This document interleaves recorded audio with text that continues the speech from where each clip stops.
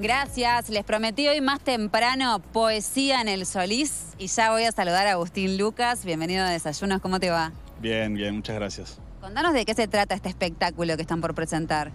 Bueno, es la inauguración del año poético del Teatro Solís. Este, el año pasado fue como el primer plan piloto, digamos, de escuela y de ciclo de poesía.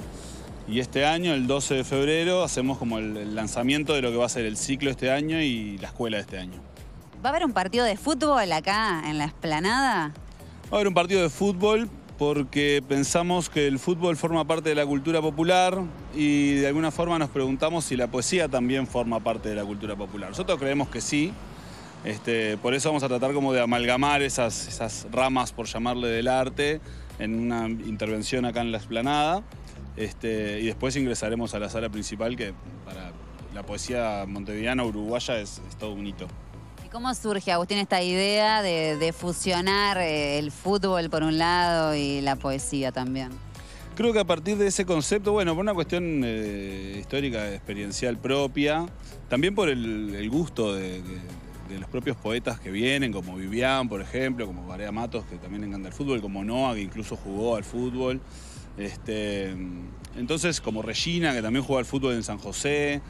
Este, de alguna forma se da naturalmente y por otro lado lo buscamos desde ese lugar de, conceptualizar eh, qué tan lejos y qué tan solemne es la poesía, ¿no? Qué tan inalcanzable o qué tan intangible es, o en realidad qué tan cerca puede estar y qué, tan jóvenes son las personas que, que acceden a ella y qué tan importante ha sido como en el registro histórico nuestro. ¿no? Bueno, el espectáculo que va a ser en un lugar tan mítico como es el Solís.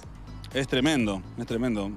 La poesía se manifiesta en un montón de lugares montevideanos y del interior, eh, antros, almacenes, bares, eh, tertulias, ciclos de poesía, lugares épicos como han sido Amarillo, como incluso Intramuros, este, como Caramelos y Pimientos, ciclos que tienen un montón de años. Y bueno, ahora nos toca como arribar al, al- estadio centenario, digamos, ¿no? Como al, escenario principal, eh, a traer la poesía y también la responsabilidad de, ser poetas en este tiempo y, y de los poetas y las poetas que tuvieron antes, ¿no? Contanos a qué tipo de público está dirigido, a qué público apuntan y después también vamos a repasar este, cuándo se puede venir a verlos. Bueno, la escuela en realidad es para todo público. Tenemos un montón de, gente inscripta, eh, más de 40. O sea, eso es eh, para nosotros es un número sorprendente. Este, igual las, inscripciones están abiertas como hasta el 2022 por lo menos.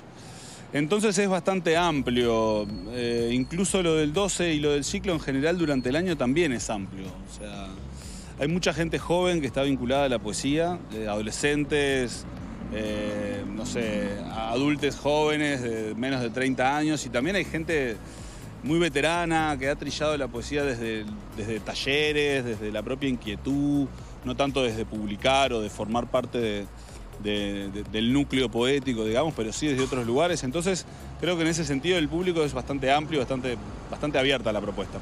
Bueno, ¿cómo se viene este año? ¿Tenés algo? Porque vos siempre estás con algún proyecto, algún libro, algún otro este, cosa vinculada al deporte o a la, literatura. Bueno, el fútbol es un poco mm, parte de mi vida constantemente. En este momento no tan directo, digamos, o no desde adentro, este, pero siempre como esta eh, historia que estamos armando en, el Solís de Poesía, siempre está de alguna forma presente. Y la poesía también está presente y en todos sus, sus ramas, digamos, ¿no? Desde la producción de, o, la, o la promoción de un evento hasta la propia escritura de, de textos, la escritura periodística, la presentación en, en lecturas y, y ciclos. Ah, eso es un poco en lo que está la vida, en realidad.